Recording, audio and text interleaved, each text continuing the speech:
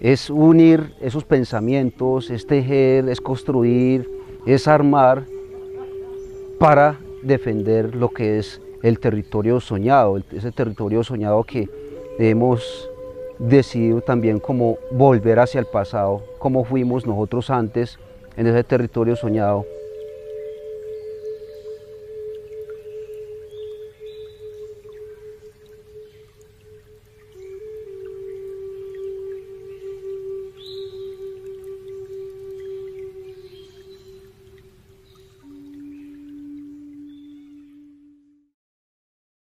¿Qué estamos haciendo nosotros aquí en esta escuela? Esta escuela se pensó cómo de fortalecer, de formar a nuestros jóvenes y a, los líderes en tema de la defensa del territorio. Esa defensa que nosotros hemos llamado desde la cosmovisión indígena como pensando en la madre tierra estamos construyendo una política de la defensa del territorio desde el mundo indígena, pero que no es pensada de cuatro o cinco personas, sino desde un tejido como tal, desde la casa, como quien dice, desde, su hogar, están participando hombres y mujeres, desde el más pequeño hasta el más grande. Porque esto es una defensa que tenemos para el territorio y más que todo uno hay que defender eh, la comunidad y también saberse, así como estábamos hablando por la mañana, el buen vivir de la comunidad y, y pues como estar también como mujeres, también estar alerta en lo que está sucediendo en la comunidad.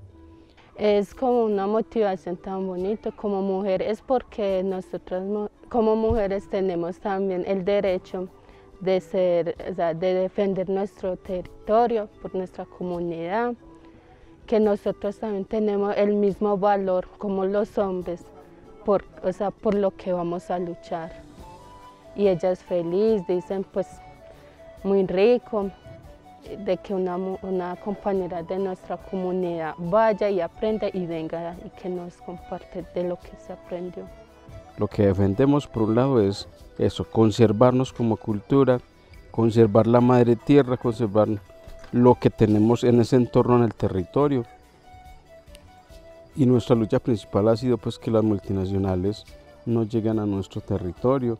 Por eso eh, es importante la lucha que hemos dado y seguiremos en ese proceso de luchar contra, contra este enemigo principal.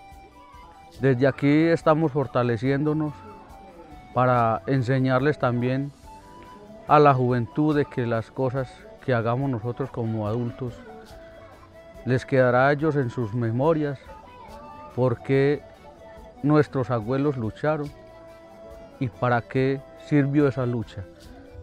Y como dice el dicho por ahí, la unión hace la fuerza y unidos nunca seríamos vencidos.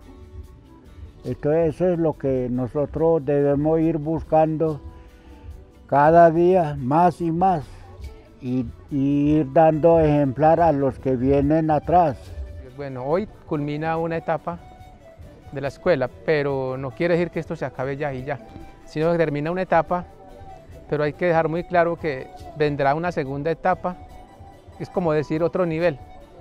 Termina este proceso, pero no significa de que nosotros como comunidades indígenas eh, terminamos también el grupo, porque es un viaje de conocimiento de cinco resguardos, en donde estuvimos plasmando varias ideas en dos años, ¿cierto? Esos dos años nos han enseñado de que nosotros solos también podemos caminar. Sí, la idea de seguir con esto, como dicen, hasta la última,